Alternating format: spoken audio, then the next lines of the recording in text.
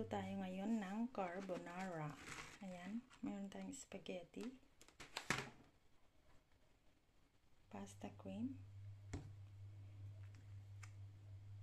parmesan, unsmoked bacon crushers, and the white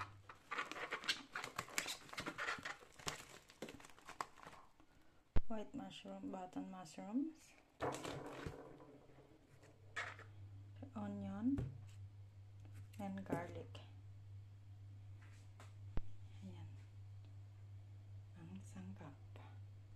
Ayan, okay na. Na-slice na ang mushrooms, garlic and onion, bacon.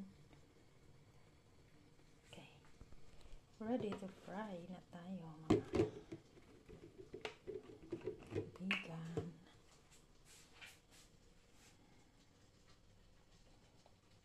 medias en tefado. Continuamos.